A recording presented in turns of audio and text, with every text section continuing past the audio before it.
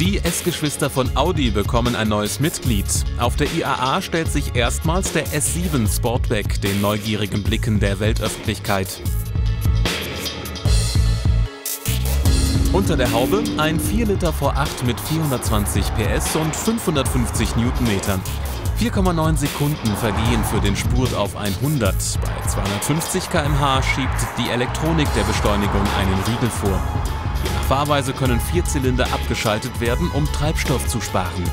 Eine Technik, die auch bei den Geschwistern S6 und S8 zum Einsatz kommt. In Zeiten wie diesen, in denen sehr stark über CO2 diskutiert werden, was kann und was darf man da noch mit Ihren leistungsstarken S-Modellen machen? Gut, wir haben hier natürlich äh, einen Hattrick hingelegt mit den von Ihnen beschriebenen Modellen.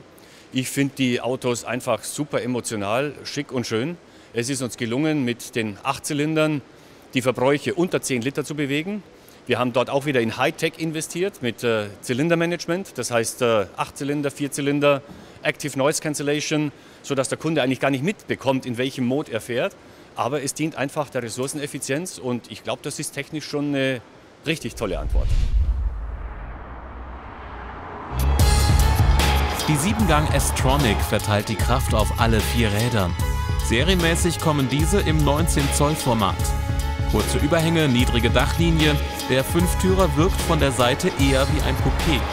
Aluminium an den Außenspiegeln und im Kühlergrill sowie der große Heckdiffusor unterscheiden den S7 von seinem Bruder A7.